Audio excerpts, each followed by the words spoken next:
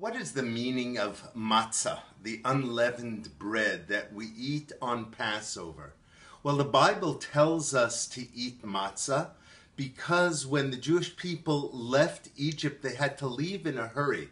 And in order to be uh, redeemed, the Jewish people had to take a step to show that they believe in God, not in the Egyptian idols. And so they put uh, blood on the outside of their doorpost so that the angel of death would pass over it. Once that happened and the 10th plague was completed, then the Jewish people had to leave Egypt quickly. The Bible says that they left in such a hurry but trusted God going into the desert where there's no food, no water, and they trusted God enough that they left Egypt quickly.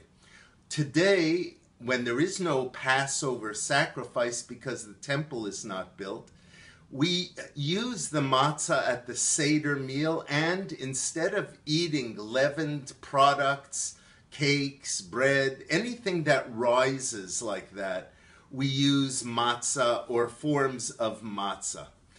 Why the idea of matzah? Well, number one, to remind us of how we trusted in God enough to go out into the desert.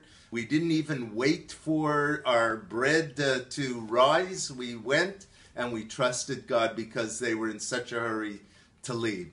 But there's a second idea that Jewish theology brings, and that is sometimes bread represents where one has an inflated ego where one thinks one is um, arrogant, where one is arrogant.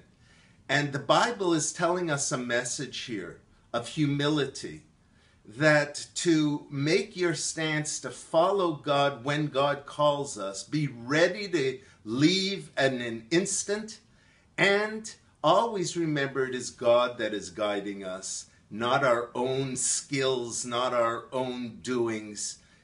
We are humble we are like the matzah that is not inflated, that doesn't rise with yeast. We are the core. We are the real thing following God.